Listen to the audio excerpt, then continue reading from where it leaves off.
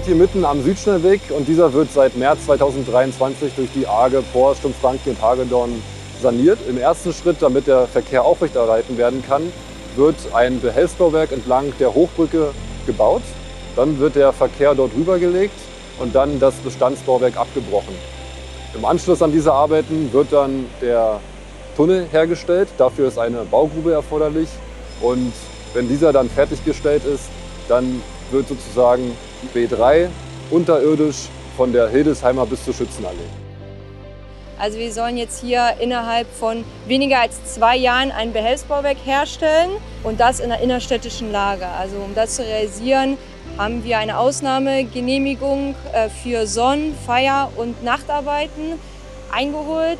Ähm, wir arbeiten neun Tage und haben fünf Tage frei. Also ich glaube, aus dem Bauverfahren können wir wirklich aus den Vollen schöpfen. Hier kommt so ziemlich alles zum Einsatz, was man sich vorstellen kann. Und das eben mitten in der Stadt.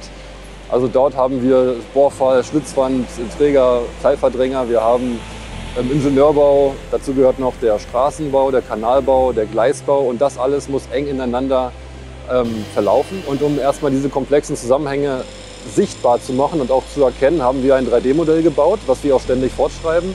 Dort kann man dann das letztendliche Behelfsbauwerk sehen, man kann das Bestandsbauwerk sehen, man kann die ganzen Leitungsführungen sehen, die Schlitzwände, alles auf einen Blick.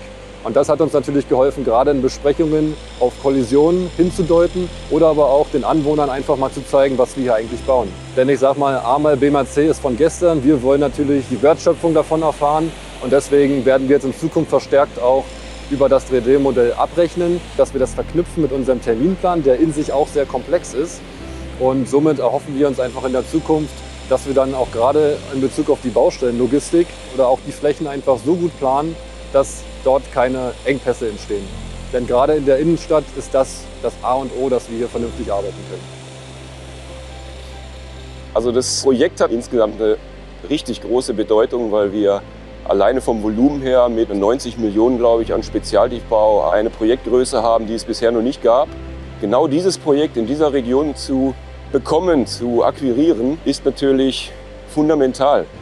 Äh, das ist quasi ein Wald aus Lafetten. Alles, was wir wirklich äh, in petto haben, ist hier auf der Baustelle vorhanden. Das zieht sich wie ein Wald über anderthalb Kilometer hin. Und ich sag mal, wenn das äh, nicht beeindruckend ist, dann weiß ich auch nicht mehr. Die Herausforderung war, dass wir bei dem Projekt hier in sehr kurzer Zeit sehr viel Spezial-TV-Leistung erbringen mussten. Wir hatten drei Schlitzwandeinheiten, die gleichzeitig Tag und Nacht gearbeitet haben. Und es war äh, eine ganz große Herausforderung, die Logistik hier in den Griff zu kriegen auf dem äh, sehr engen Baufeld. Haben wir über 30 Silos aufgestellt, äh, entsprechend viele Leitungen verlegt und das ganze Material muss natürlich dann nachher auch gereinigt werden. Ähm, das Besondere hier ist, dass wir versucht haben, einen Teil des Bentonits nachher bei der Entsorgung vorher zu trennen und nicht die ganze Bentonitsuspension abfahren müssen. Für das Projekt bedeutet der Umweltschutz natürlich auch besonders viel. Also wir haben hier auf der Containerburg äh, bei den Bürocontainern eine netzgebundene PV-Anlage angeschlossen, sodass wir eine autarke Energieversorgung gewährleisten können. Des Weiteren gibt es eine eigene Kläranlage. Also wir verhindern somit dieses typische, äh, diese typischen Entsorgungsfahrten von der Baustelle und den Umweltschutz trotzdem großzuhalten. Ich glaube, wir haben jetzt mit unserem Einstand gezeigt, dass wir hier alle wollen. Wir sind hoch motiviert, wir arbeiten zusammen, wir sind relativ jung für eine Baustelle dieser Größenordnung. Wir nutzen die neuen Tools wie zum Beispiel das 3D-Modell und wollen hier einfach zeigen, was wir drauf haben.